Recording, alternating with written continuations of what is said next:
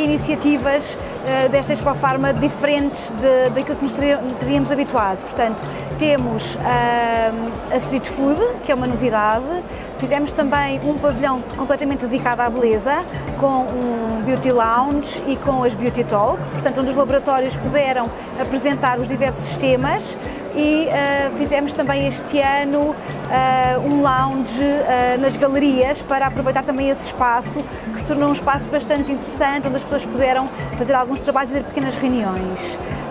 Tivemos também, da parte da farmácia de distribuição, um evento com a final na Expo Pharma, que foi o Game of Pharma, e acho que foi também uma interação bastante interessante, porque é diferente e trouxe uma dinâmica diferente ao evento.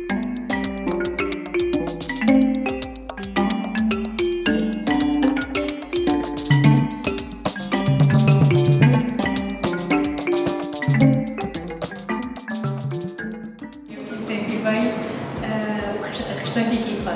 Foi o receber o mail da, da Pharma News, ver que ia existir este Game of Pharma, porque nos faz estudar e explicação à procura de partes que nós não estamos tão habituados a lidar no dia a dia da farmácia. Eu estou a acreditar. Nenhuma nem outra. Nós fomos confirmar, até fomos confirmar o nome da equipa, porque nós começámos, foi um bocadinho participar só para conhecer e ver como é que era, mas não estávamos à espera. Um bocadinho frustrado, eu acho que é normal, não é? esforçámos para estar aqui. É evidente que o que importa é competir e temos conhecimentos importantes da gestão e acho que ambas tínhamos interesse nisso. Mas pronto, é um chamado de na praia, que é bom, não é? A aprendizagem, o interesse mesmo aqui era ficar um bocadinho mais, com mais noções a nível de gestão, que é uma área que eh, nível de faculdade não é muito desenvolvida Portanto, valeu, vim mesmo aqui para jogar, daí ter carregado no botão e ter arriscado. Nós não, não sabíamos exatamente o que tínhamos, foi divertido termos que estudar novamente algumas coisas, aprendemos bastante e chegar e ficar no, no pódio é sempre, ter um bom resultado é sempre Até foi uma agradável surpresa, eh, não há uma diferença assim tão grande para o segundo classificado como esperávamos. Eh, e claro que já combinámos a formação também para fazer juntos.